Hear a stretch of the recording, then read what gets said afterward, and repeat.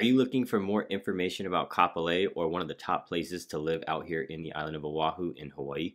Well, that's exactly what we're going to talk about in this video. We're going to cover why everyone loves living in Kapolei, everything that has the amenities, where it's at, everything involved with it, all that and more right now.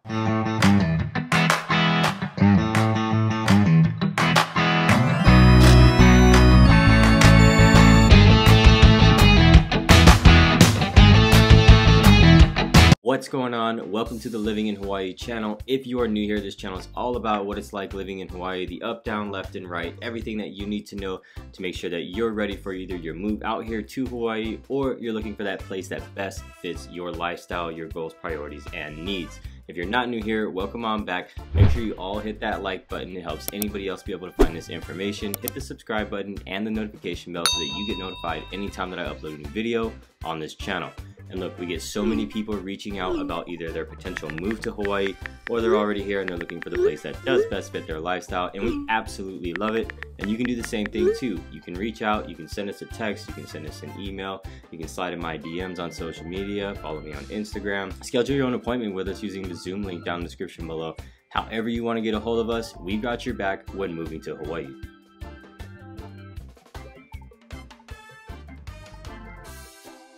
First, let's go ahead and identify where Kapolei is like we usually do so that we always have a good reference point and know where we're looking at on the map in the island of Oahu.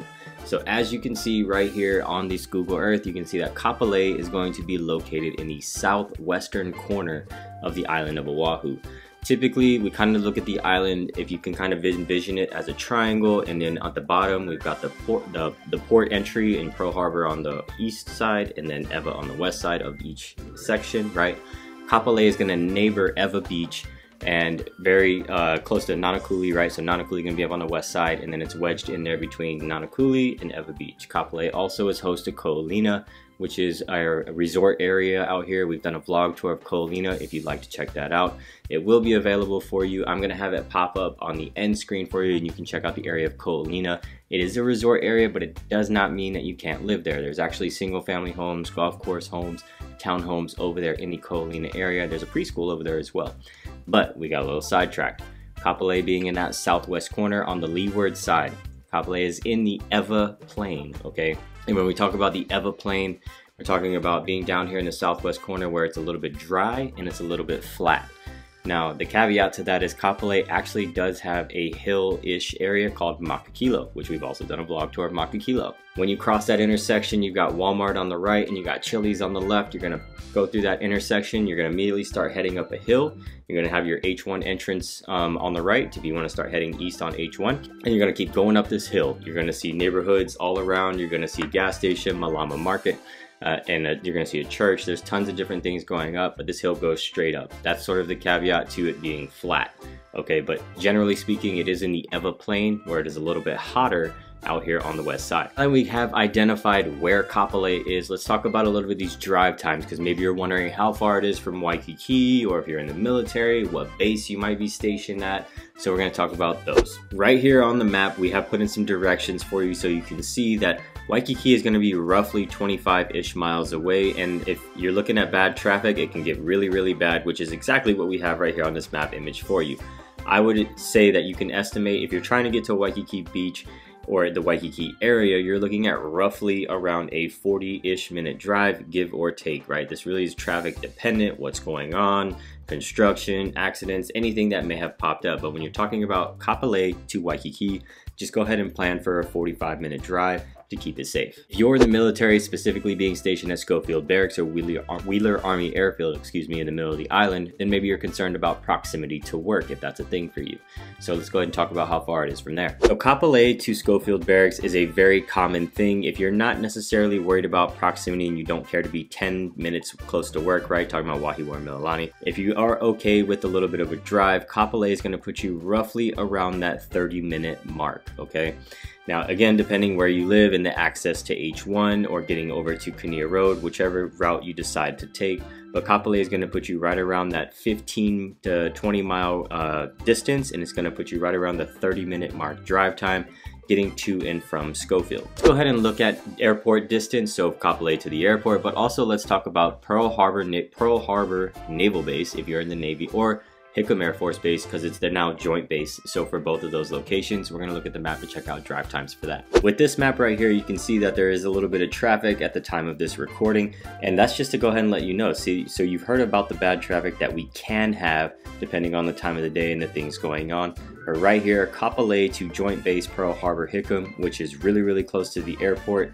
I would go ahead and plan for roughly a 35-ish minute drive, give or take but you can see that this is going to be around a 16-ish mile drive. Now, getting Kapolei to the airport isn't necessarily that bad. Again, it's all really just time of day dependent. If you're in the Navy or the Air Force, because it is Joint Base Pearl Harbor Hickam, you're going to be looking at roughly around a 35 40 minute drive to get to and from work. And you're going to be going with traffic, right? So it's going to be a little bit more hectic uh, in the morning, depending on the time that you leave in the morning and the time that you get off work in the afternoon. Maybe you're just concerned how long it's going to get you to the other side of the island because you love to hang out in Kailua and do things over there. So let's look at the drive time to Kailua. Kailua being adjacent across the island, you can see right here that it's going to be roughly a 30 mile drive, give or take, depending on which routes you take, but it can be pretty hefty drive. You can see right here in this map image because of the traffic going on, it says an hour and four minutes. On a regular weekend or something like that where there's no traffic depending on when you leave, I would just go ahead and plan for 45 minutes, but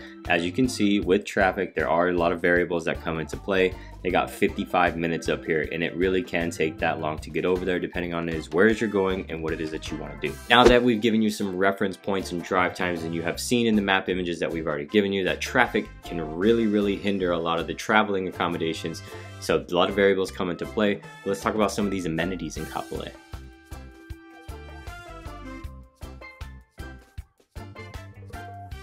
Kapolei is known as the second city here on Oahu, which is obviously Waikiki being the first or Honolulu being the first, right? And then Kapolei being the second city. Kapolei is one of the fastest growing cities and communities here on the island of Oahu and actually in the state, really. But Kapolei is, it's a little bit different though, as far as the vibe and the amenities that are what it's looking like as far as the second city. Because when we think of the word city, right, we think of congested, high rises, all that stuff, right? Not necessarily the case in Kapolei. Let's talk about the, some of the amenities that they've got over there, such as good places to eat, right? There's a lot of good restaurants, good places to eat in Kapolei, local businesses with really, really good food. Actually, there's um, a place over there called El Mariachi that I love eating at. It's a nice little, like, just a nice little mom and pop um, uh, Mexican food restaurant. El Mariachi is one of my good places to eat. You got uh, the Crab Shack over there. I can't eat seafood, I have an allergy, but um, I've heard that it's really good and it's a nice place to hang out. I have hung out there, it's pretty cool. And then there's a lot of other things going on. There's um, some good supplement stores if you're into the gym and taking protein. There is a gym over there. 24 Hour Fitness is in Ka Makana Ali'i. So 24 Hour Fitness is there. There's CrossFit gyms around in the areas. Lots of other cool things. If you're looking for a place kind of similar to Whole Foods, there is no Whole Foods in Kapolei, but what there, what there is is a store called Down to Earth. Down to Earth is going to be your similar to Whole Foods store. Down to Earth has, I believe it's vegan, straight vegan. I could be wrong. Please correct me in the comments if I am. Go ahead and fact check that. But it's right there in Kapolei, and funny enough, it's actually across the street from a Dunkin' Donuts. But, uh, you know, pick your poison. So lots of amenities in Kapolei when we're talking about what there is to do and when we're talking about beaches. So over there you got White Plains Beach, you got Barbers Point. We've already mentioned Ko Olina briefly in the video. And then when it comes to big box stores, if you're a big box store shopper, right, you got Costco, Home Depot, and Target as you can see right here in this vlog tour section. So what you're seeing is this clip of my vlog tour. There's vlog tour on this channel where I take you all around Kapolei. I'm talking Makakilo, Ko Olina. I go through everywhere in Kapolei and show you everything. But in that parking lot, you got Target, you got Ross, like I mentioned already, Dunkin' Donuts, Down to Earth, you got PetSmart. Just nearby, you got the Lowe's, um, sorry, not Lowe's, Home Depot, Costco, tons of different big stores over there in the area, great places to eat. You've got a duck butt grill over there, DB Grill, good stuff over there. Highly recommend the garlic fried rice, or is it the, the duck fried rice um, and the wings, amazing. Love it over there. Got some good soju if you're into uh, soju, but not gonna get into my habits, just telling you about the amenities and good places to eat. Support local, you got the Kapolei Commons movie theater. We've also got the movie theater Olina in the in the Ka Makana Ali'i Mall, which is one of the newest the newest mall on the island. So lots of great things and shopping areas over there for you to choose from. Lots to do. I find myself in Kapolei all the time going to these areas that we just mentioned because I'm looking for things that I need either for myself or my family. Again, I already mentioned um, Walmart being at the Makakilo Hill where there's another shopping center where you got Longs, uh, you got GNC, you got Korean barbecue over there, uh, Safeway, tons of, just, just tons of stores over in Kapolei. But it, like I said, it's not a high-rise city. It's very, very spread out, and I actually like that. I like the spread out, like the, the, the, the way that it's not congested. Um, Kapolei is really, really spread out, and that's something that I really appreciate about it.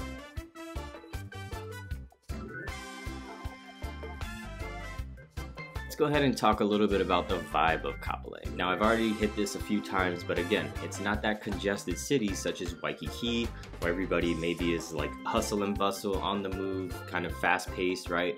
Kapolei is more of a spread out city and that being that way, right, there's not a lot of people congested in one area. There's a lot of different places that you can go within a few miles to keep it more spread out. There are a lot of people out walking, commuting, and those types of things. But there's a business district center.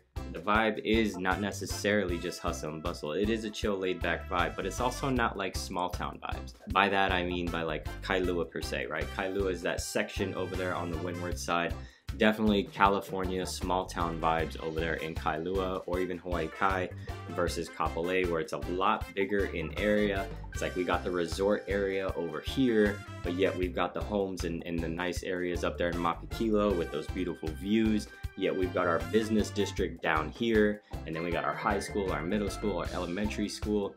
So it is a, a really, really nice family friendly community vibe. That's the vibe that I get with Kapolei. Family friendly community vibe with lots of things to do. Lots of your, your shopping needs can be right there in Kapolei, but that's the vibe that I get is the family friendly community vibe.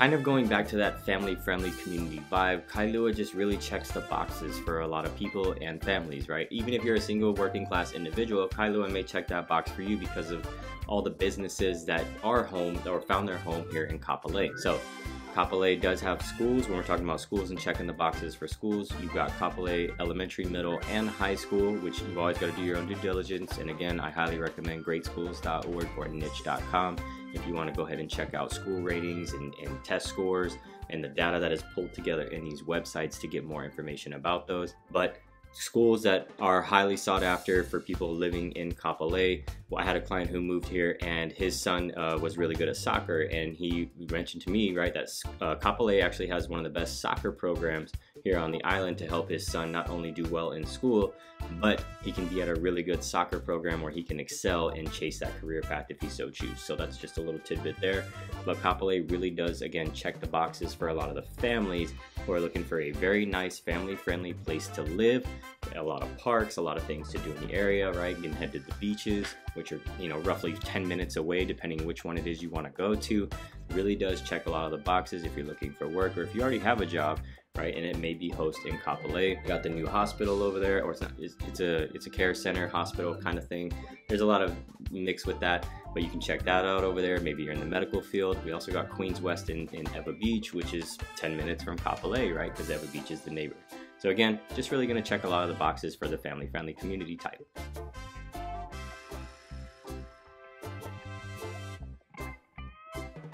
When it comes to outdoor activities, Kapolei is going to kind of lack in this area. So this cut goes back to it being in the location that it's in, which is that southwest corner, leeward side, Ewa Plain, all right? There's not a lot of hiking to do necessarily in Kapolei. There are beaches, which is great, right? There's beaches all around the island, right? But there's some really nearby beaches. We talked about White Plains, which has an MWR over there where you can rent boards if you're military affiliated. Um, but you can head to Ko Olina. Colina, you got the resort area over there. You got the, the resorts where you can walk around and check those out. You got the lagoons you can go hang out in, which are like really just cool little pools in the ocean. Pretty cool, especially if you have little ones. I love taking my little one over there. And then you got barbers, or you can just, you know, there's tons of different areas over there, really. But outdoor activities, there's not a lot of hiking if you're looking to look at. For hiking and waterfalls, you're most likely going to have to commute over to the east side somewhere and venture out that way. So outdoor activities, there's a lot of parks, a lot of sports, which are really, really good. Um, I love seeing that type of stuff, but when we're talking about hiking specifically, I'm not really gonna have that. Not a lot of not a ton of tours happening out of Kapolei either, right? So we're talking about like your dolphin tours, your turtle tours, and stuff like that. Those are a lot of those are on the east side as well when the, the boat docks and stuff. But in the marinas in Hawaii Kai, Kailua, that stuff. But hiking specifically, not really gonna have that in Hawaii Kai. Most of the time, I pretty much gotta venture out to the other sides of the island to do that kind of stuff. Again, Kapolei is just one of them really hot, sought after communities. A lot of people love looking for homes in Kapolei. It just really checks a lot of the boxes, meets all the criteria, has all the things that they're looking for. And if that's an area that you're looking to live in, you can definitely reach out. You can send me that text, you can send me the email, you can give me a call. However you want to get a hold of me, I got your back with moving to Hawaii or even Kapolei, right? Specifically for Kapolei if that's what you're looking for. All right, so don't hesitate. You can always reach out.